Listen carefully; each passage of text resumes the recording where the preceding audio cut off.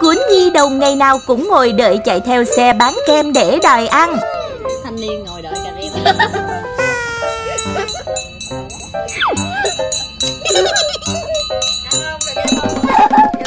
mua cà rem coi.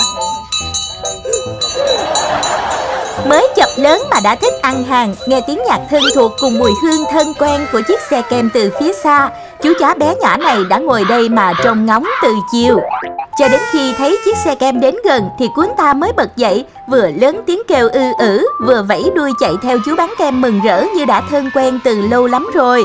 Đã thế nó cũng thông minh lắm chứ Còn biết chạy vào mà liếc mắt mắt lẻo Sen như muốn nói Sen ơi em muốn ăn kem.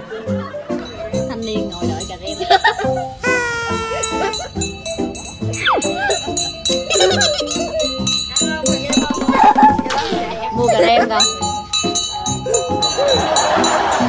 Thành quả cho sự chờ đợi không biết mệt mỏi là đây.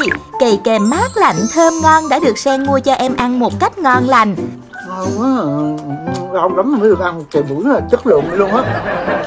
Cơ mà sở thích ăn hàng này cũng hơi tốn lúa của Sen á ngang Cơ cấu thế nào mà cuối năm sinh riêng được cuốn lịch khách hàng thân thiết đó chứ đùa. Chiều nào cũng như chiều nào Chú cuốn này cứ phải ngồi đó mà đợi xe kem cho bằng được Chú bán kem chạy chừng 20 vòng là nguy cơ con Sen bán nhà Còn chú bán kem tậu biệt thự luôn quá Cảm ơn các bạn vừa xem xong video của Golden, kênh thú vị và hấp dẫn nhất trong cộng đồng yêu thú cưng Việt Nam. Đừng quên nhấn đăng ký kênh để theo dõi chúng mình ở video sau nha.